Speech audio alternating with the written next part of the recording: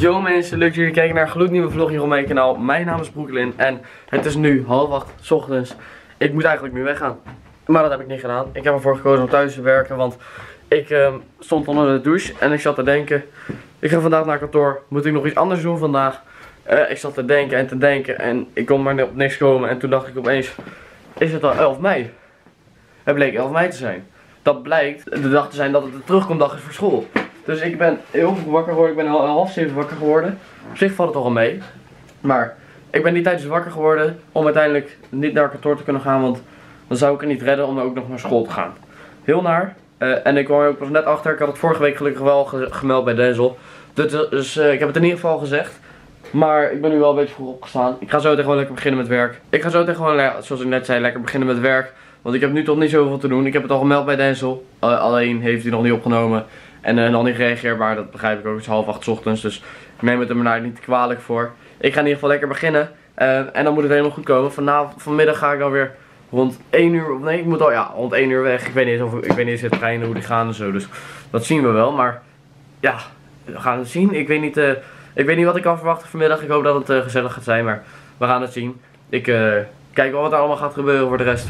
Mensen, we zijn op school. Weer uit en niet gaan filmen, hè? Ja toch? We zijn weer terug. We zijn weer terug.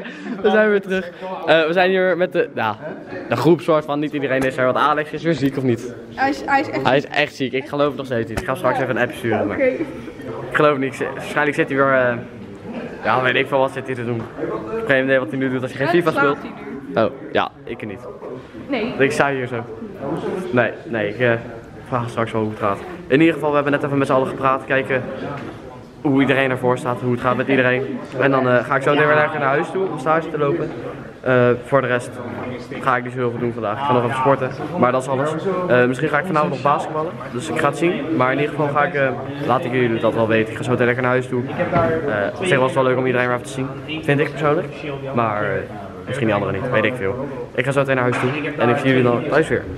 Mensen, ik heb nog even lekker gechilled en nu ben ik heel erg moe. Nu ga ik lekker slapen. Wat heel fijn is, want meestal als ik heel moe ben, val ik snel slaap. Dus dat betekent dat ik gewoon lekker ga slapen hopelijk. Het zou heel fijn zijn. Bedankt voor het kijken naar deze vlog. Ik heb genoten van vandaag. Het was uh, leuk om de mensen weer te zien op uh, school. Ik vond het heel gezellig.